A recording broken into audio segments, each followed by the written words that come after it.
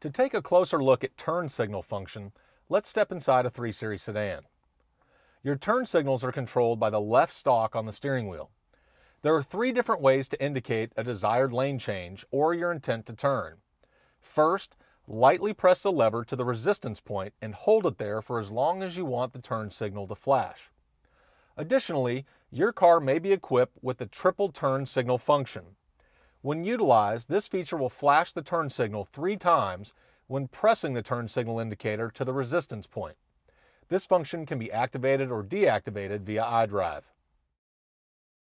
The third option is to press up or down on the stalk past the point of resistance.